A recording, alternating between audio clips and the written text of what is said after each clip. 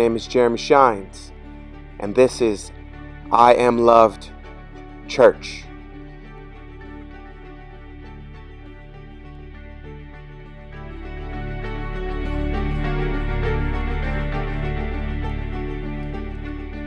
Let's pray.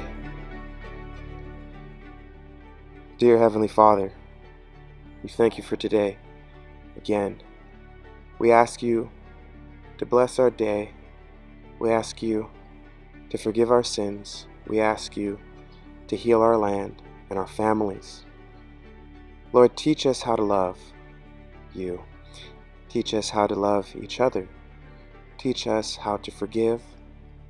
Father, teach us, humble us, so we may learn not only who you are, but who we are in you, and to walk a holy life contrary from evil. We love you, we adore you. Father, we are listening to you. I thank you for the listeners, your people, and I pray that they hear you, not me. Speak through these lips and guide me and your people through what you have for us. Thank you so much. In Jesus' name, amen. Real quick, it's been a long time. Um, I'm so excited for today's sermon. I actually have rehearsed this. I've been studying for this sermon. Normally, I don't do this.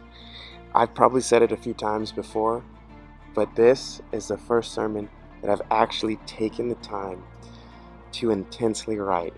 So I hope you guys like it, and it's going to be something I'm going to be doing on a regular basis. It's because I can't get tied up in my opinion and I can't get tied up in my emotions, and I want you guys to hear what God has for you straight. So, this is what I'm going to be doing, I'm sure, for the rest of my life, and I hope you guys get something out of it. Alright, today's topic is What is truth? What is truth? T R U T H, truth. The definition of truth is something or someone that is in alignment with fact or reality. Truth, in the most absolute sense, does not change over any given time and is considered to be the ultimate ground of reality. The Hebrew word for truth is omen, which could mean faithful, reliable, assured, established, establishment, stability, to be right, to be sure, or to be true. Omen also comes from its root word amen, which means truly or so be it. The Greek meaning of amen is to be firm. The Greek word for truth is aletheia, which means unclosedness or unconcealedness openly shown, or the action of making secret information known. The state of not being hidden or hiding, or lastly, the state of being evident, factual, or real, grounded in the physical reality. Epistemology aims to answer questions such as What do we know? What does it mean to say that we know something? What makes a belief true? And how do we know that we know something to be absolutely true. Epistemology is the investigation of what distinguishes justified belief from mere opinion in the natural world. Through logic based off of evidence in nature, in order to prove that something is true, we generally need to ask four key questions that helps us to identify truths from opinion. The first question we ask is the nature of knowledge. In order for something to be true, the knowledge needs to match the evidence within the physical reality or world. And only then will it be justified as true. Second, the potential sources. All sources that are supporting the evidence need to be liable, including all witnesses who were present and their testimonial statements. The third is having a good form of knowledge, which gathers all the sources or beliefs about the topic and finds no contradictions between any of the sources.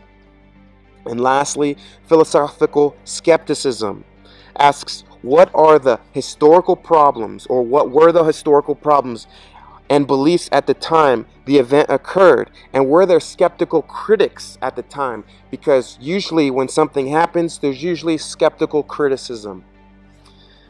You don't believe me? Look on facebook. All right. So i'm going to give you an example of what how or how to identify something that is true from something that is false. All right? I'm going to run through the four steps as we just read what is this? Hopefully you can identify this. This is a pen. Well, that is my truth statement. I'm claiming this to be a pen. But is it a pen? What is the mechanics of a pen? Or, in other words, what is the definition of a pen? Let's look at what the definition of a pen is an instrument for writing or drawing with ink, typically consisting of a metal nib or ball or nylon tip fitted into a metal or plastic holder. Let's run through that again, one by one. Is that true? Where is my supporting evidence of this to be true? That's the statement. Now I need to prove that the statement is true. Can a pen write or draw? Let's look. I have my pad. Can it write? Yeah, it can write. Can it draw? Sure, there's a smiley for you. So, can the pen write or draw? Yes, that is true. That is my physical evidence based off of reality. Does it have a metal nib, ball, or nylon tip? I'm pretty sure you guys have seen a pen before. Yes, it has a metal nib, ball, or nylon tip. So that is true about it. Is it fitted together into a metal or plastic holder? This is plastic, but there are metal ones. Yes, it is.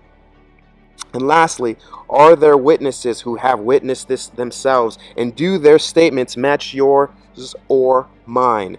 Does your statement match mine? Probably not exactly, but for the most part, yes. So, is this a pen?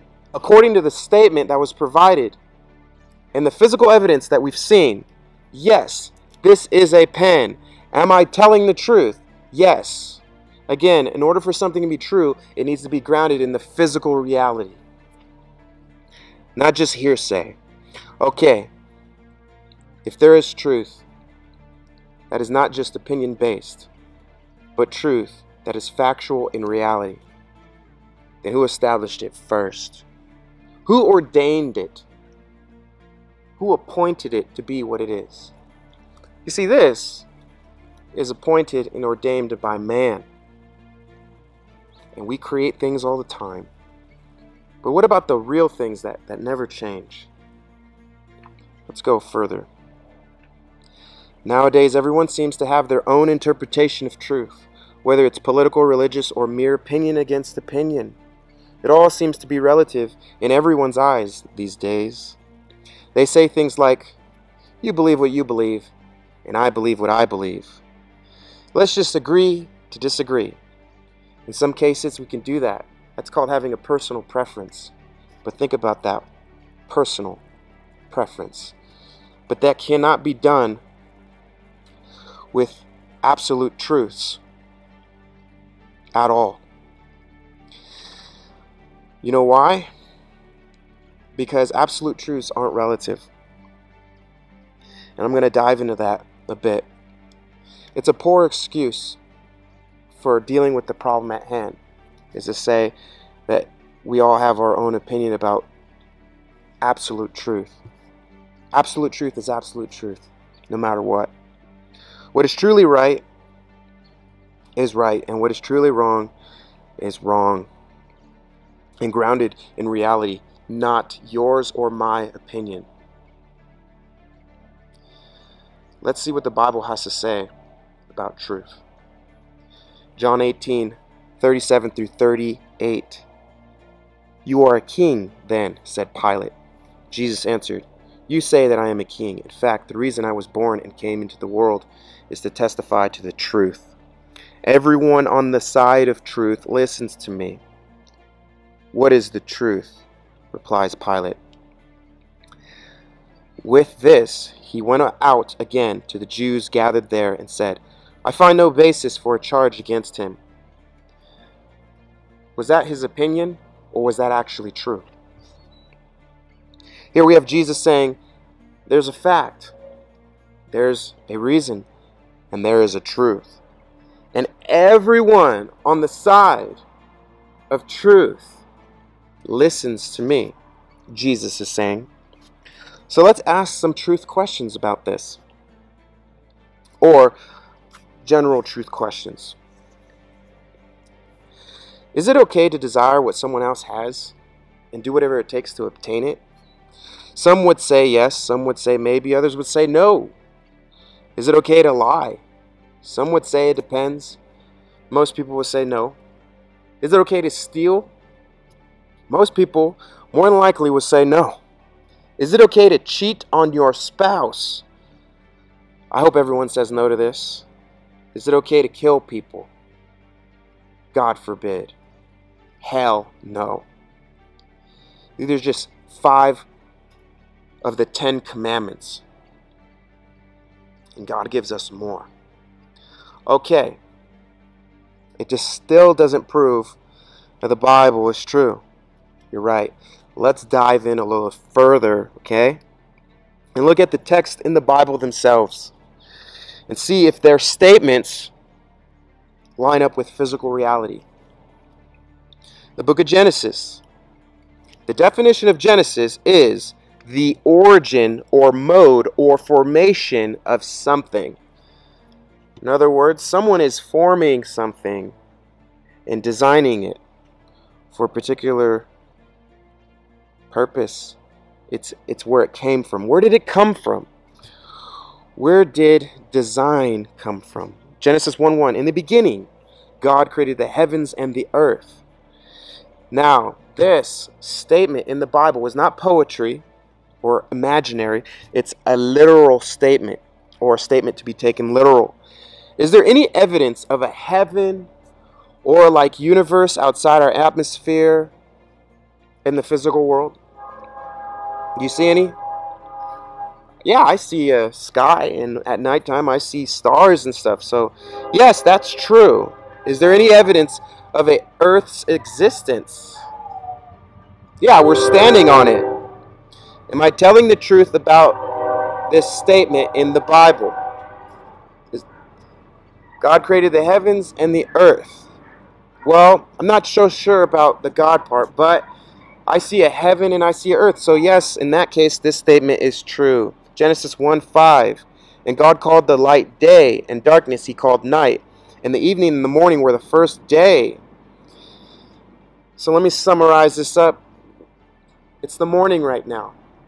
So I call it day. Most people do. And when the sun sets, most people call it evening or night. So is that statement true? I would presume, personally, yeah, it lines up with reality. And this was recorded in the Bible 3,000 years ago. All right, let's go a little further, a little deeper. Genesis 1:26 and God said, "Let us make man in our image, after our likeness, and let them have dominion over the fish of the sea, and over the fowl of the air, and over the cattle, and over all the earth, and over every creeping thing that creeps upon the earth." Another statement to be taken literal. Are human beings creative like God?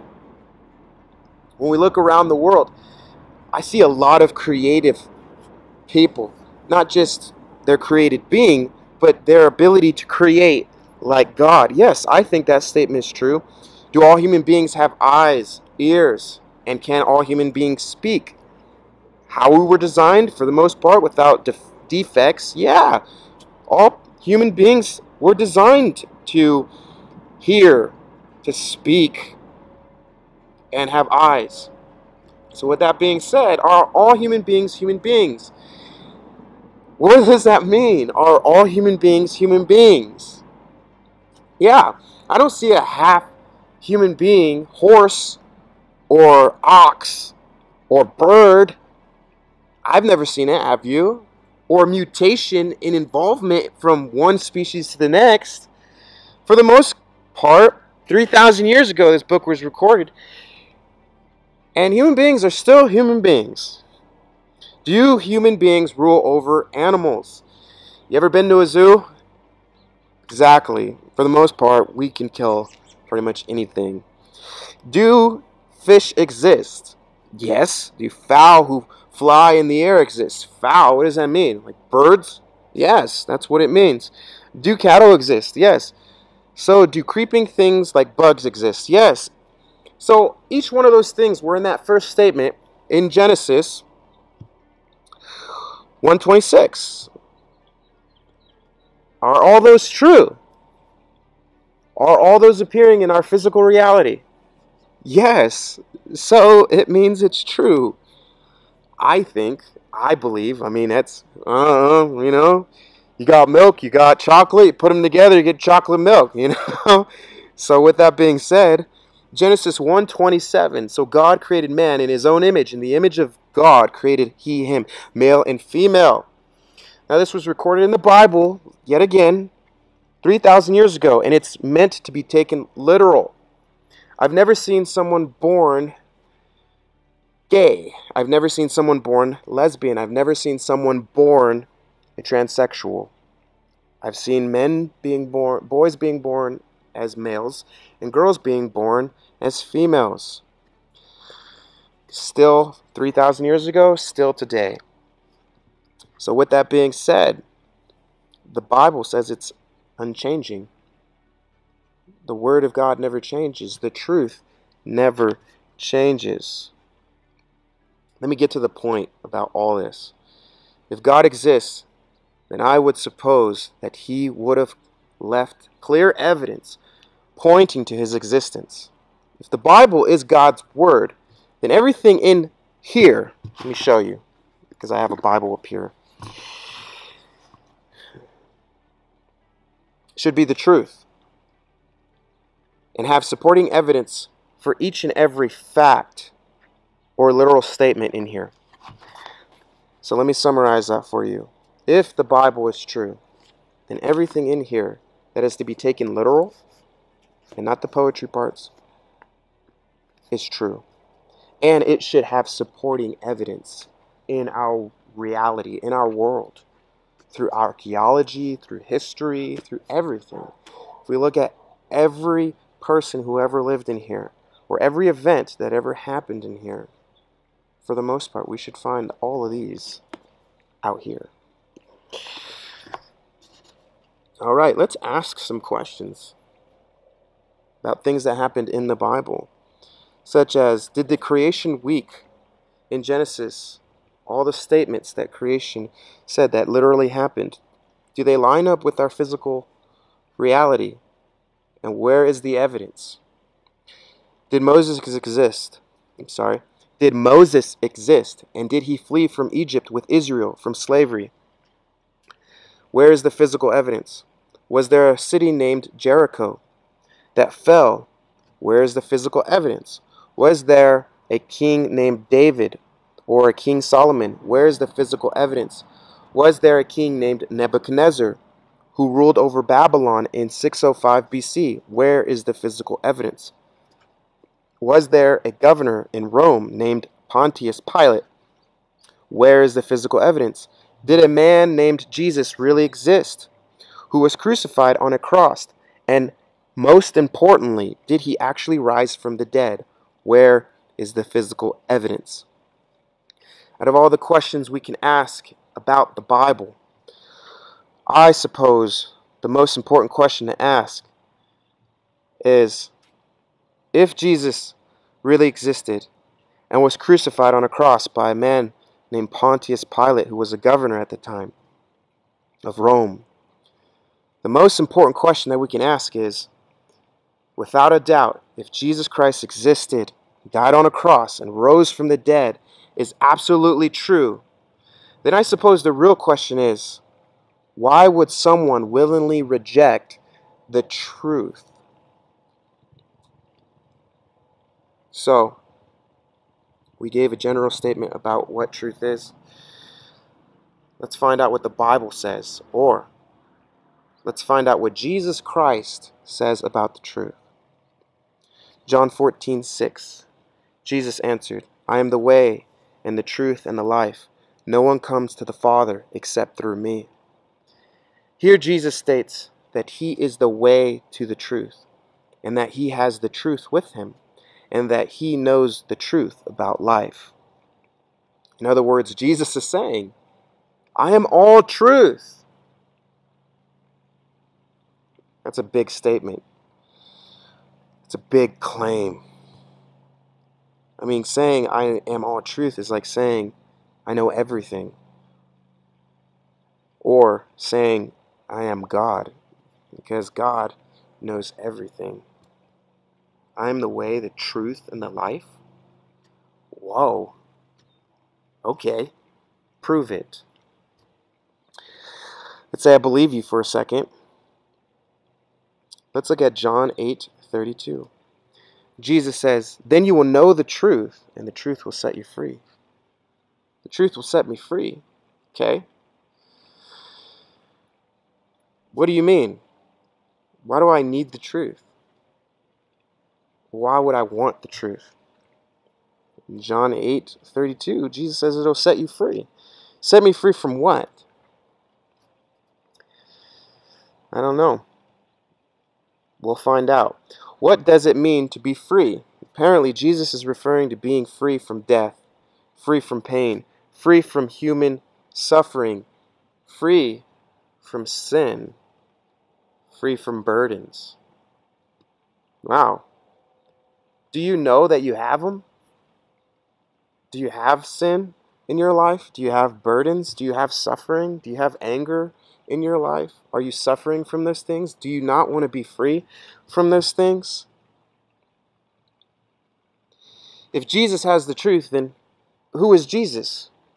John 1 1 through 2 says, In the beginning was the Word, and the Word was with God, and the Word was God. He was with God in the beginning. By the way, I love that one. John 1 14 says, The Word became flesh and made his dwelling among us. We have seen his glory, the glory of the one and only Son, who came from the Father, full of grace and truth.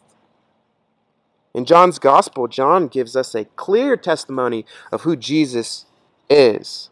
Not only was he in the beginning of creation with God, but who is God, and that his very identity is the words of God, which is the words of truth. Okay, I got it. How do I find Jesus so I can apply his truth to my life? Okay? John 6:63 The spirit gives life, the flesh counts for nothing.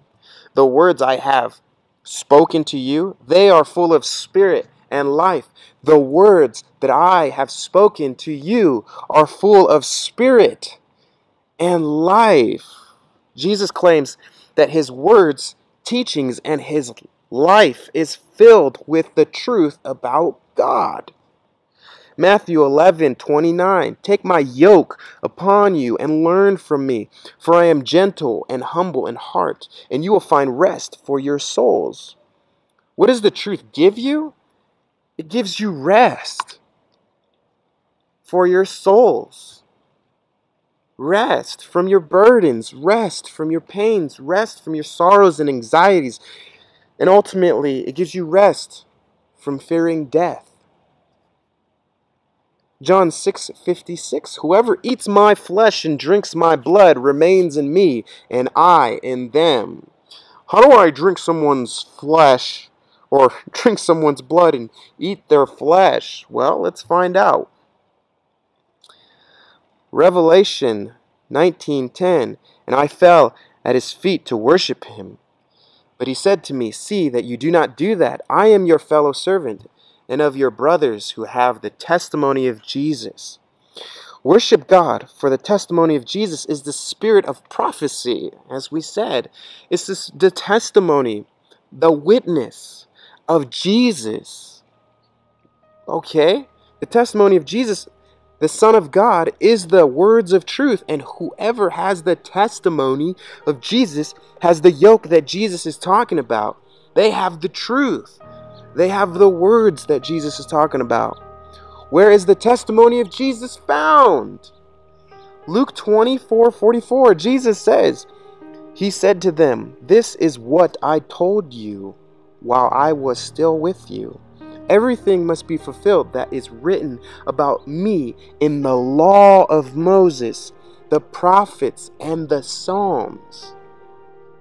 The truth about Jesus and God are not only found in the Gospels of Matthew, Mark, Luke, and John, but the entire New Testament and Old Testament. The testimony of Jesus, who is the truth, who is the Word of God, is found in the Word of God, in the Holy Bible. The Word became flesh and dwelt among us. Wow. Where's Jesus? And where's the truth? In the Holy Bible. There's only one, folks.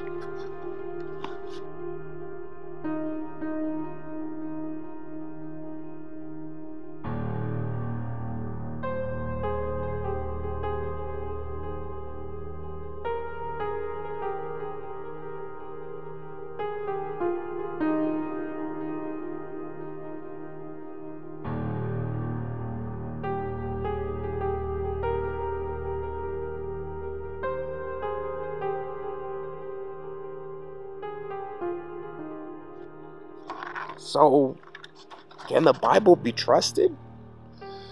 Again, the definition of truth in the most absolute sense does not change over any given time and is considered to be the ultimate ground of reality. You want to meet someone who's crazy? I don't. Not a good crazy, a bad crazy. No, I don't. They'll be talking about fairy tales and myths. I don't know about you, but I've I've never met a leprechaun or seen one. Let's move forward. Matthew 24, 35. Jesus says, the Bible says, actually, that the truth never changes. It says that his words will never change. Heaven and earth will pass away, but my words will not pass away. God is telling the truth about everyone without the Spirit of Christ, which is the Spirit of truth, is a liar. Let me say that again. Anyone without the Spirit of Christ, without the Spirit of truth, is a liar. Numbers 23 19 says, God is not a man that he should lie, nor a son of man that he should repent. He has he said, and Will he not do, or has he spoken, and will he not do good on what he said? Human beings tend to lie all the time, whether accidental or intentional, but God says, I am incapable of lying. If you don't believe me, test me. Test my word, the Bible, and see if you actually find or can find any fault in it. a lot of people think they can, and a lot of people are still trying to disprove the Bible. That's another sermon or topic to talk about.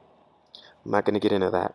Jesus was, is, and will ever be the only one who was without fault. In other words, he was the only perfect person. So let's take a look at Jesus' example or his life and what he defines as truth and how he lived. John 10 24 through 32, Jesus says, If you asked me a favor and I said I would do it and do not do it, that would make me a liar. But if you asked me for a favor and I did what you asked me for, you would have great evidence to believe me. In other words, Jesus has always backed up what he said with what he did. And he is saying that his actions prove that he is not a liar. Raise your hand if you've met someone who said something and did not do what they said they would do. Raise your hand if you've been that person. Yeah. Or let's reverse it because I know you're probably not raising your hand. Don't raise your hand if you have not done something that someone asked you to do. don't, raise, don't raise your hand if you've met someone. Let's get to it. For example, if I asked, if you asked me to go to the store and pick you up a Coke, and I said I would do it, but I came back with nothing or a Sprite or something you didn't ask for, you would more than likely be upset and gradually begin not to trust in what I say anymore. However, if you asked me to go to the store and pick you up some vanilla ice cream and I came back with vanilla ice cream, you would not only be happy, but you would begin to build your trust upon me a little, little more. And the same thing applies to our lives, especially when it comes to marriage. It reflects our faith as well.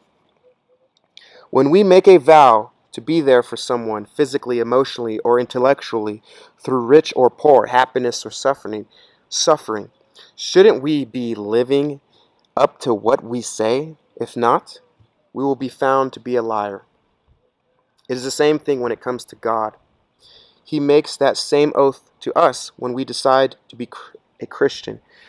We are making a vow, a promise, like a marriage, to be faithful to Him no matter what the opposition, circumstances, trials, or suffering.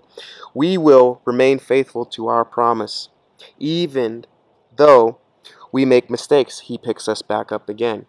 God, on the other hand, never falls short of his promises to his people who have decided to devote their entire lives to him and fulfilling his will for their lives. Joshua 1:16 through 18. Then they answered Joshua, Whatever you have commanded us, we will do, and whatever you send us, we will go. Wherever you send us, we will go. Just as we fully obeyed Moses, so we will obey you. Only may the Lord your God be with you as he was with Moses. Whoever rebels against your word and does not obey it, whatever you may command them, will be put to death. Only be strong and courageous.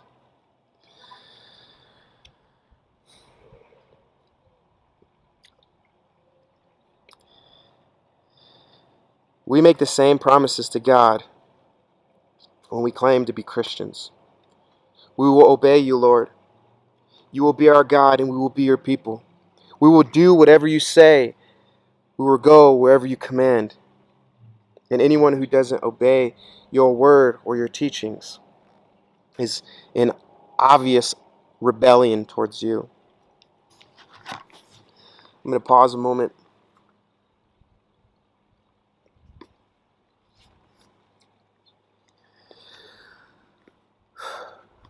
We're not going to be perfect in this world while we're in these sinful bodies.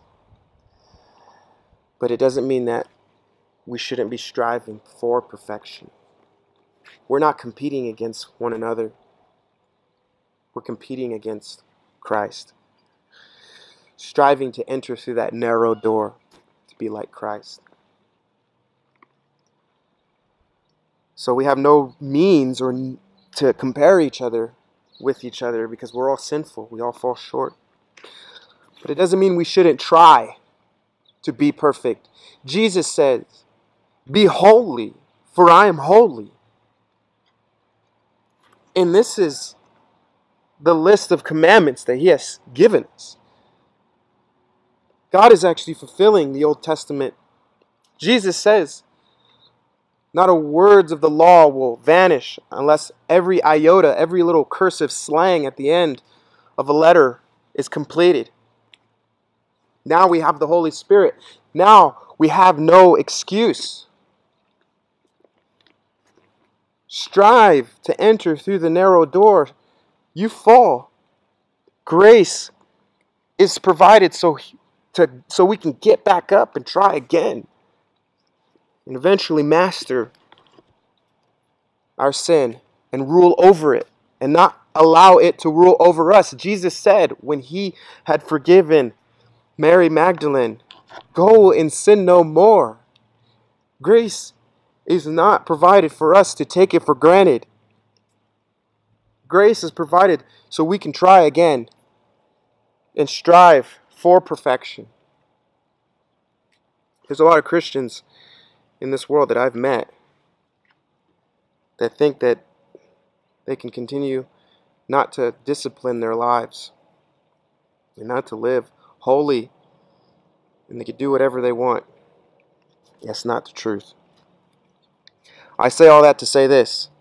If you want to know whether something or someone is being truthful, weigh their actions by reality. And is there physical evidence to back up what they say or to back up the statement of what they're saying is true? If there isn't, then it's a lie, and they are lying. Unfortunately, the people of the world always tend to believe whatever everyone says instead of testing the facts and seeing if there's actual evidence to back it up. People believe in anything these days. We need something to believe in, but I'm not going to believe in a lie, and I hope you won't either. There's also a belief going around in the world that's pretty much popular, it's okay for you to believe what you believe, and I believe what I believe. But you don't have the right to tell me I'm wrong. That's just your opinion. And in some cases, that can be true. But not about truth statements. For example, if I steal something from you, I bet you'll be very angry with me. Not only will you be angry with me, you would claim, you would say, hey, what you did was wrong. But if I used that worldly mentality, that's just your opinion. You believe what you believe, and I believe what I believe, you'd be very upset.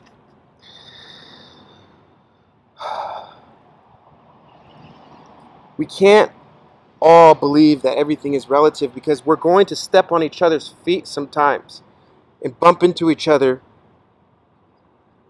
What are we to do then? and all this division in the world, they don't know what truth is anymore. They've lost the center line, and it looks like whatever. It's not straight anymore. Don't be that person. Where do you get your examples from when it comes to what a marriage is supposed to look like? Where do you get your examples from when it comes through how how to work? Where's your examples from uh, how to be friends with each other? Where's your examples from? Where do you get your standard? I hope it's not from each other. I hope it's from some sort of law or rule that we can all strive towards. Sadly, most people have wandered away from the actual truth and basically find teachers who basically won't tell them they're wrong and are they need to repent and say, I'm sorry to that person or change their actions. In other words, people don't want to accept the truth. And so they'll go find other teachers who will please them in their sin and say, oh, it's okay to be gay or lesbian or transgender. It's okay, you know, but it's not okay. The truth is written on each and one of our hearts. And we're not obeying the truth. That's when we feel shame and guilt and anger. God has given us an example of how He expects us to live. With that being said, what will happen to a world that loses truth? When they start rejecting the truth for a lie. What happens to a world that no longer recognizes truth but believes that all is relative and everyone is right about whatever they want to believe to be true? What happens to a world that rejects Jesus Christ as their Savior, who is the embodiment of ultimate truth? What happens to a world that redefines truth for themselves, or how they feel, or their opinion, rather than factual evidence which is grounded in physical reality? What happens to a world who rejects ethical truths such as our conscience for a counterfeit of sinful desires that lead to misbehaving in society. What happens to a world who reject the truth written within the laws of government for no laws at all because they are law to themselves? Overall, in order to understand truth, we first need to understand Jesus and how he, who is the Bible, interprets words. Because Jesus, being the Word of truth, the Word of God, carries all the proper meanings and interpretations of the true essence of words with him, as God once did with Adam. Genesis 2:20. So the man gave names to all the livestock, the birds in the sky, and all the wild animals. But for Adam, no suitable helper was found. Genesis 3:20. Adam named his wife Eve because she would become the mother of all the living. Before the fall, Adam was able to properly distinguish objects and reality as truth from that of his own opinion or imagination, to the point where he even named his own wife Eve. When God establishes something by name, it forever remains its unchanging name and knowledge or which he names it is the center of God's identity and he who is the truth never changes. Let me say that again. When God establishes something by name, it forever remains its name and unchanging. And he created knowledge and the names of them. And it is the center of God's identity. And he who is the truth never changes. John 1 1 through 2 says, In the beginning was the Word, and the Word was with God, and the Word was God. He establishes words, He establishes names, and they never change, and He is the Word of God. Matthew 24 35 Heaven and earth will pass away, but my words will not pass away. The truth is to have the proper interpretation of knowledge of God. The truth is to have the proper interpretations of the knowledge of God. However, if we don't understand words and how they function, we could fall into the abyss that Satan deceived Adam and Eve with, falsely informing them. They couldn't interpret words. How could they interpret sentences or paragraphs or speech?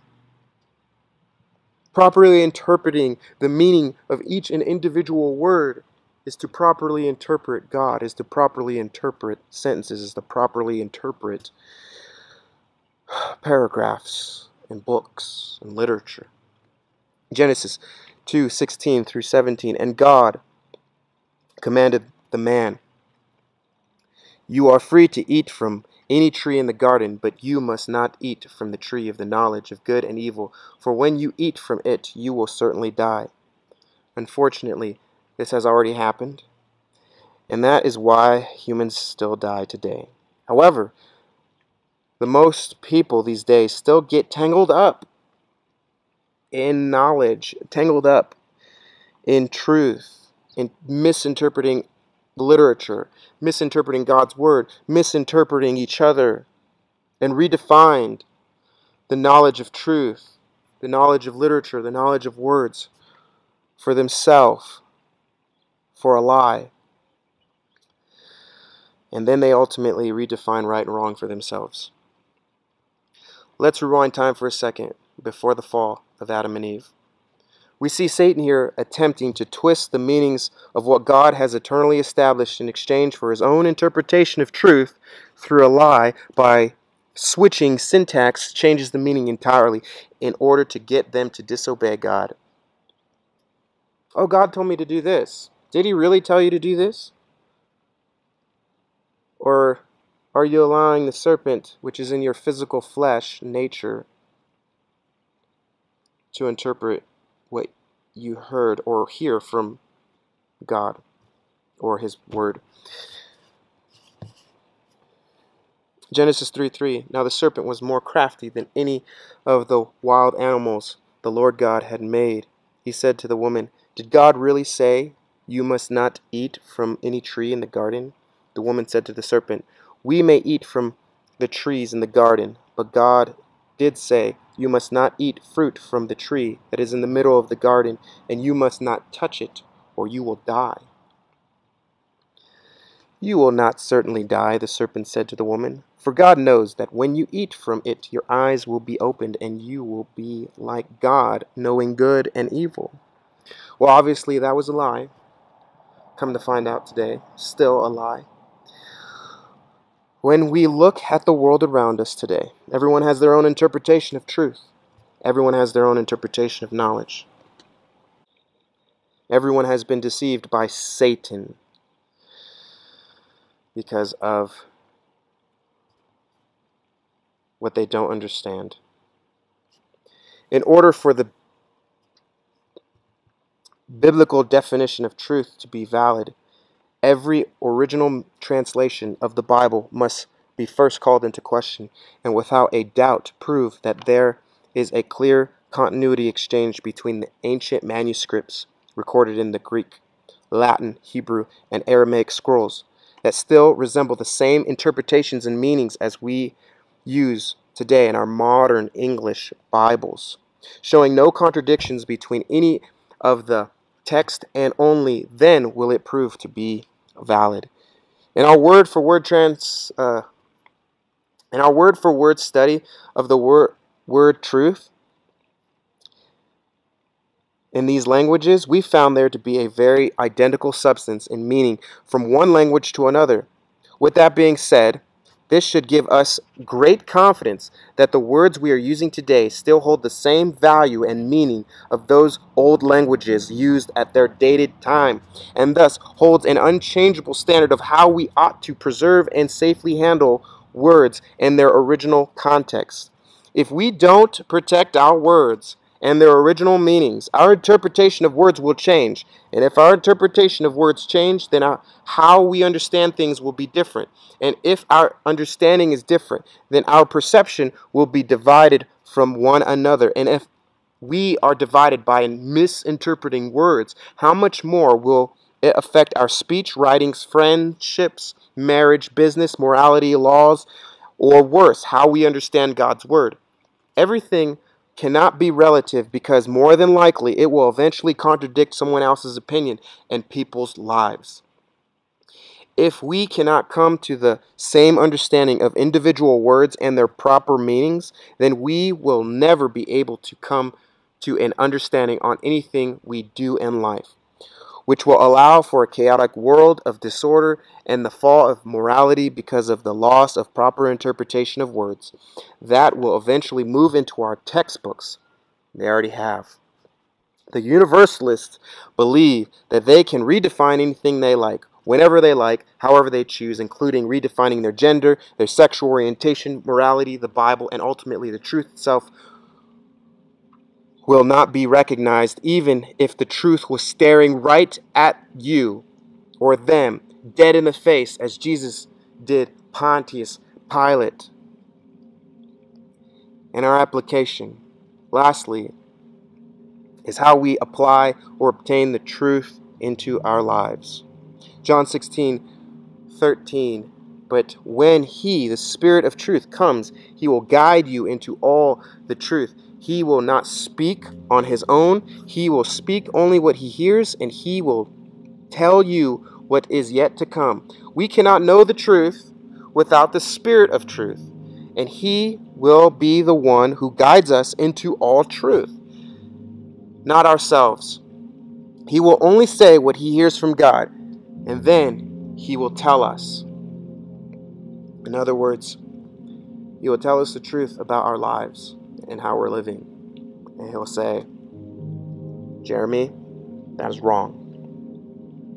Jeromie, don't do that. Jeromie, this would be nice if you did that. He will discern, he will give us wisdom to discern right from wrong. How do we get the spirit of truth? Acts 2:38. Peter replied, "Repent and be baptized, every one of you, in the name of Jesus Christ for the forgiveness of your sins, and you will receive the gift of the Holy Spirit. when we acknowledge the God of the Bible is the only true God and that we need a Savior, then the first thing that we should do, it says, is repent. Saying, I'm sorry, and believe that Jesus is the Son of God. The next step is to get baptized in His name, the Father, Son, and Holy Spirit. And only then can we receive the gift of the Holy Spirit, who is the truth. I'm going to wrap it up right now. If you are unsure whether or not if you are in the truth, then you're probably not, but still living in the world of sin and rebellion to God. Because the truth is for those who are willing to repent of their sins every day, repent of your sins every day, and fully surrender to every desire in your heart. Surrender all your desires in your heart and live in pursuit to the plan that God has for your life. Pursue what God has for your lives. This is what it means to put your whole trust in Jesus. This is what it means to put your whole trust in Jesus. I'm saying it over and over and over again. Say people say I trust Jesus, but they are not pursuing the plans that God has for their lives. Each person must come to that conclusion for themselves.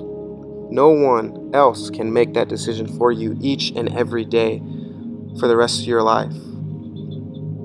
You have to make that choice every day to pursue God's will for your life each and every day. No one else can make that choice for you. You have to make that choice for yourself. And each person has to make that choice for themselves. And only then, Jesus says, will you find rest for your souls. Let's pray. Thank you, God, for your word. Thank you, God, for your blessings and your guidance and your discipline.